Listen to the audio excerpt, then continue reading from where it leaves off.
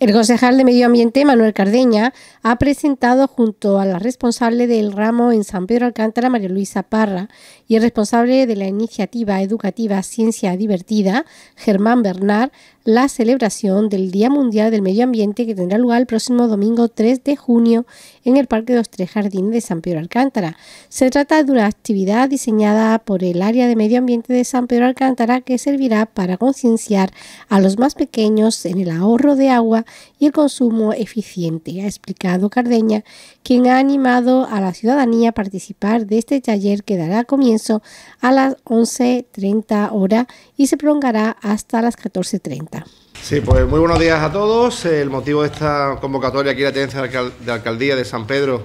es la presentación de una actividad que vamos a tener con motivo del Día Mundial del Medio Ambiente. Una actividad que tengo que decir que, ha sido diseñada por el área de Medio Ambiente y Playas de, San Pedro, por María Luisa, que ha sido la, impulsora, y gracias también a Ciencia Divertida, a Germán, por, porque ha puesto también pues, eh, pues ese diseño de esta actividad. Yo creo que en los momentos en los que estamos, en que existe una buena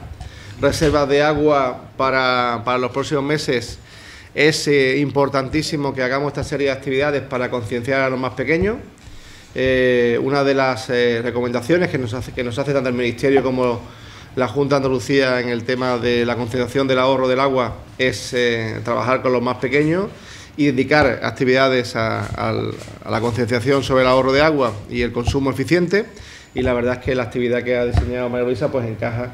en esa línea, con lo cual pues eh, convocamos a, toda la ciudadanía a que participe de ese día. Ya está por redes sociales, ya pueden compartir la actividad y se pueden apuntar para que eh, puedan disfrutar de esta actividad de concienciación de ahorro del agua. Yo sin más, agradeciéndole a Mauricio el esfuerzo de que de poner esta actividad en marcha, le cedo la palabra para que ella lo explique más, más en profundidad. Pues buenos días a todos. Más en profundidad, simplemente explicar que desde el área de, Medio Ambiente y Playa de la Tenencia de Alcaldía, pues estamos muy concienciados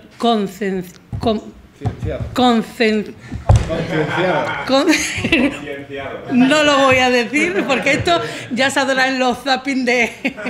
televisión. No lo cortéis porque es un momento zapping. Lo siento, pero la palabra se me resiste. Eh, queremos trabajar cada día y no, nos cansaremos de trabajar por el medio ambiente. Eh, este día es un día que yo hace ya dos años que quería haberlo puesto en marcha, no ha sido posible hasta este año y bueno, pues ya podéis ver por los carteles de que estaremos el domingo en ese gran parque que también tenemos en San Pedro, donde, donde mejor disfrutar un día del medio ambiente pues que en el Parque de los Tres Jardines.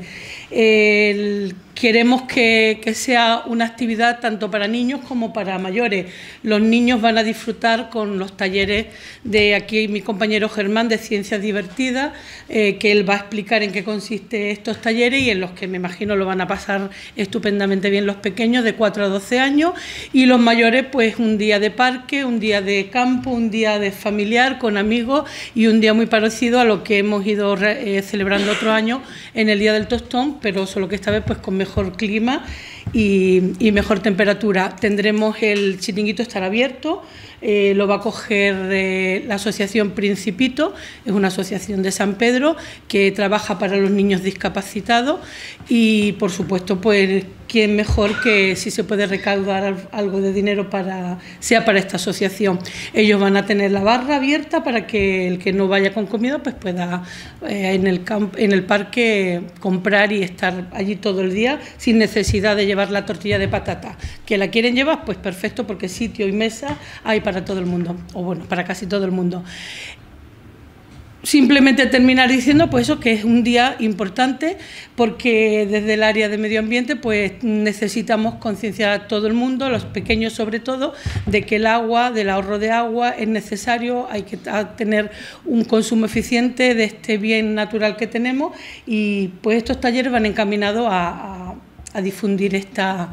este mensaje a, los más pequeños, animar a todos que participen, que vengan a San Pedro, todos los, todos los ciudadanos, San Pedro, Marbella, de donde nos oigan, que vengan, el parque es grande, eh, los talleres están preparados para que muchos niños puedan entrar, serán de once y media a 14.30, con lo cual eh, hay tiempo más que suficiente de que podamos disfrutar toda la familia y todo el mundo junto. Y sin nada más, pues daros las gracias por, por asistir a esta rueda de prensa. Paso el micrófono a mi compañero Germán que explicará de qué consisten los talleres. Bueno, pues muchísimas gracias a todo el mundo, a la mesa, a vosotros por venir un día como hoy para que os expliquemos un poco. La parte que me toca es explicar un poco el detalle de la actividad. Nosotros somos Ciencia Divertida, llevamos 20 años trabajando con niños y niñas de toda España y de fuera de España, porque tenemos muchas oficinas fuera también, todas las temáticas científicas y entre ellas la biología, el medio ambiente y la conservación de la naturaleza es una de las partes fundamentales y un eje mm, básico de nuestro trabajo. Hace cinco años que nos asentamos, quisimos que la central de todas las franquicias que tenemos en el mundo fuera eh, el eje Málaga-Marbella tenemos una sede grande en Benalmádena, otra que estamos aquí viendo ya casi entre San Pedro y Marbella, que, que, va a ser inminente y que os la anunciaremos en breve. El, el, para el parque ya nosotros teníamos una experiencia de en estos cinco años los colegios eh, de tanto bueno desde Valdeolletas que venía al principio que es Marbella, Fuente Nueva, privados, públicos, concertados, el alemán, Ecos, las Chapas, todos los colegios de la zona, en muchos de ellos tenemos extraescolares, actividades extraescolares, tenemos eh, una relación también a nivel docente con el CEP de Marbella Coín, en el que hemos desarrollado cursos de didáctica de ciencias experimentales y lo que hemos propuesto para el domingo es una que es un circuito de cuatro puntos, cuatro o cinco puntos, dirigido y enfocado a un target muy claro entre 4 y 12 años de manera principal, eh, en los que vamos a trabajar el agua, sus propiedades y la conservación del medio ambiente como los tres topics, los tres contenidos básicos. Nosotros siempre lo hacemos con nuestra metodología de ciencia divertida, que es una metodología manipulativa. Queremos que aprendan, pero obviamente no podemos olvidar de que es un domingo, de que estamos en un parque y de que es un día de celebración. Con lo cual, la actividad va a ser divertida, la actividad va a ser espectacular a niveles de que van a haber explosiones, vamos a tratar el agua con unos productos, no son mágicos, ¿eh? son científicos, que ellos siempre salen luego, profe, y, queremos que, bueno, que cuantos más niños y niñas vengan y se acerquen, pues mejor. Eh, como os he dicho, los puntos a tratar, el circuito va a disponer de cuatro puntos grandes, vamos a estar desde las once y media puede estar los niños más o menos, tenemos flexibilidad para adaptarnos a lo que nos encontremos. Cuando vamos a un sitio, si actuamos en un colegio o trabajamos en un centro, pues uno sabe que va una hora con 20 niños o con 20 niños y niñas a trabajar tal. Aquí no sabemos si nos vamos a encontrar con 100, con 150, con 200 o con 500. Los que vengan van a ser atendidos con la misma calidad y todos y todas van a ser, se van a llevar detalles de, físicos que hayan hecho ellos eh, como resultado de los experimentos pero también se van a llevar un mensaje importante, que es el que se ha dicho en la mesa antes, y que es que es súper importante cómo se ha empezado, porque ahora mismo que es verdad que ha sido un invierno lluvioso, que hemos tenido agua, parece que cuando no nos acordamos de, nos acordamos, sí, solamente cuando hay mucha sequía o cuando aquellos tiempos que teníamos restricciones es cuando nos acordamos y, es una labor continua y permanente la labor educativa. Empezar con los niños y las niñas en edad escolar pues te garantiza que el mensaje eh, esté sembrándose eh, cuando debe y que la cosecha luego pues sea positiva para todos. Esa es la intención. Nada, tanto Luisa como Germán como yo quedamos a su entera disposición por si tienen alguna duda. ¿Cuántas plazas eh, En principio, si quieres, en principio está abierto a que vengas porque lo que hemos hecho es un diseño en cuatro carpas con está toda nosotros vamos a hacer al lado del ambigú donde ha dicho María Luisa que van a estar para que facilitemos el acceso y el movimiento. La propuesta de dinamización del evento eh, hemos, hemos, estado viendo el parque y vamos a poner cuatro carpas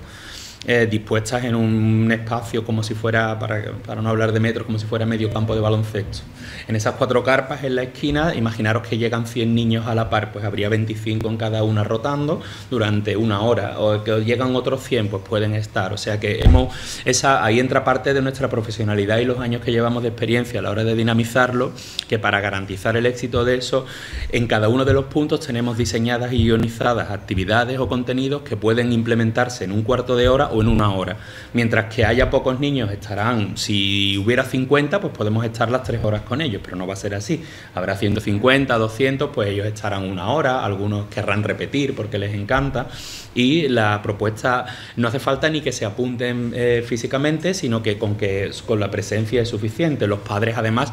van a estar, eh, lo hemos vallado, pero solamente por dar orden, es una valla de, ayuntamiento normal, por dar un orden me refiero a que sea un itinerario didáctico, ¿no? a que primero aprenden una cosa, luego otro, luego otra y luego otra. Con lo cual en, esa, en ese tránsito, en ese circuito, eh, diseñamos una flexibilidad suficiente para adaptarnos al número que venga. Ojalá no demos abasto. ¿Los contenidos entonces en cada una de las capas? En principio Sí, a priori sí. Tenemos los cuatro que he por ejemplo, tenemos el método científico va a priorizar porque queremos que los niños y las niñas que lleguen aprendan a el, el, mantra nuestro de observo, pienso y analizo para resolver. Eso va a estar en el centro y cada uno de los experimentos de las carpas lo llevan. Hemos diseñado luego el cómo conservar el agua, dándole algunos trucos de conservación y algunos experimentos en una de las carpas, propiedades del agua, van a ver tensión superficial y algunas de las propiedades físicas, no químicas, físicas que tiene el agua en ese aspecto, que a ellos les encanta cuando ven los lagartos que van corriendo por encima, o por qué no se hunden los mosquitos, por qué hay mosquitos en un agua y en otro no, y cuál de ellas es más salubre o menos, y cuál es más sana. Datos científicos y son muy amenos y que les va a ayudar a, a, discernirlo. Después de las propiedades, en la tercera vamos a hacerle una que es importante también para valorar el agua en ciertas edades, que es el agua en nuestro cuerpo el agua en nuestro cuerpo, algunas de sus funciones y propiedades y una, un último punto del itinerario que es la sobre eh, que es lo vamos a llamar el desperdicio, el, que es sobre eh, cómo pueden hacer más eficiente el uso del agua tanto en uso doméstico como en uso recreativo. Serían los cuatro puntos que vamos a tratar en concreto y todos los niños y niñas que entren en el circuito van a hacerlos todos. Gracias.